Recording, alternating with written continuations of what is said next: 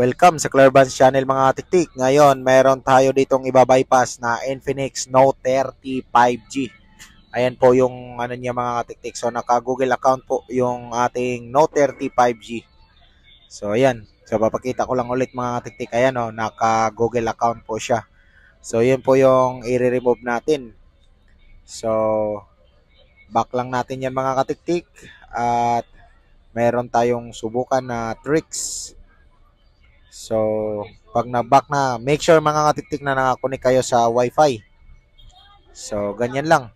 Si-set up lang muna natin dito mga katiktik at pupunta ulit tayo doon sa may uh, Wi-Fi portion no mga katiktik sa Wi-Fi portion at i-click natin tong parang uh, ah, QR code and then nearby.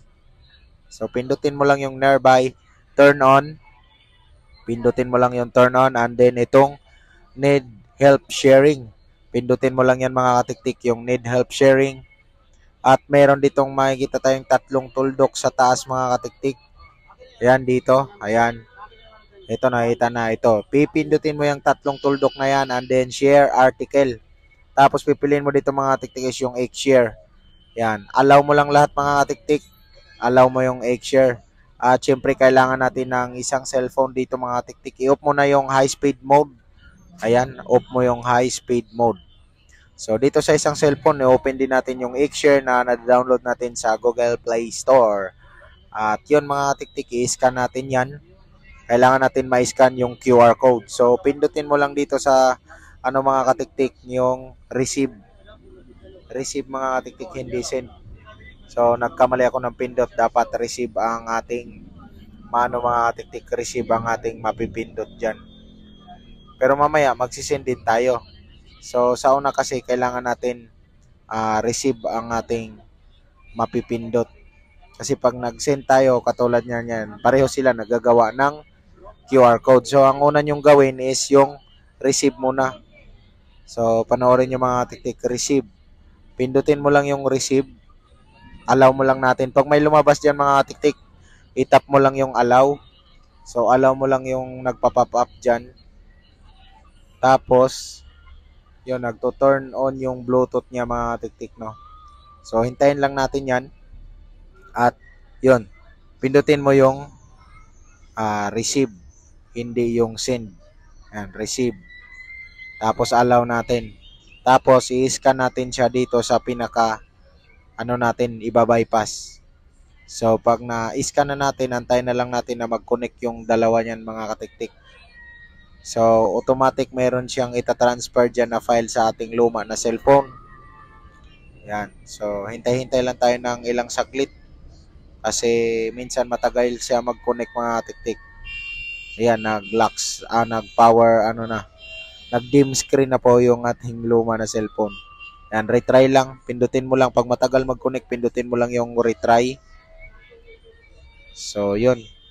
Hintay-hintay lang tayo ng ilang saglit mga tiktik at magko-connect yan. So kung bago ka lang dito sa channel ko mga tiktik, huwag kalimutan mag-subscribe. Siyempre, mag-like na rin kung merong nakuha kayo na idea dito. So yun mga tiktik, pagkatapos yan, mag-send na tayo. Yan. Dito naman sa kabila, pindutin natin yung receive. So connect lang natin.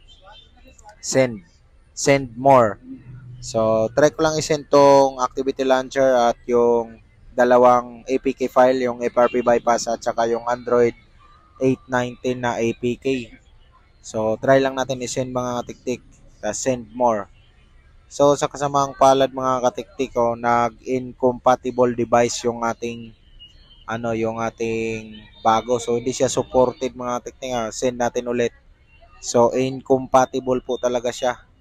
So, ang gagawin nyo kapag ganyan, incompatible, kailangan talaga natin ng uh, tools dito o gamit para ma-remove ang ating uh, ah, FRP or Google account. So, tabi na lang natin tong isang cellphone natin mga katiktik. Hindi na po natin kailangan yon. So, dahil incompatible po sa device ang mga app na yan mga katiktik, hindi po natin mamamanual bypass. So, kailangan natin i-turn off at syempre kailangan natin ng unlock tool. At dito sa unlock tool, open mo lang Infinix na tab and then piliin mo yung Infinix 2023 MTK Preloader underscore 1 and then i-click mo tong erase FRP Pagkatapos, tingnan mo lang dito kung successfully erase na po at kusa na pong mag i-start ang ating Infinix Note 30 5G kapag nag-success na po.